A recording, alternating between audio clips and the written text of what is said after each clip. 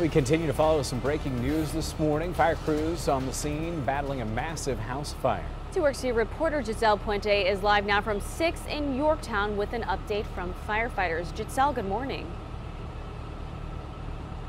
Good morning, Tanaya. Daniel, well, right now the fire is under control, but they're putting out hotspots at this time. You can see here behind me, part of the roof is gone. You can see it is still smoldering out here. This is a, a home that was vacant at the time. There was no one inside when it caught on fire around 4 o'clock. That is when firefighters responded to the scene here on Yorktown Avenue and 5th Street.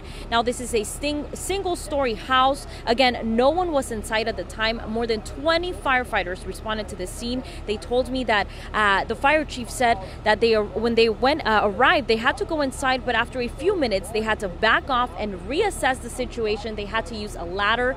It started in the attic.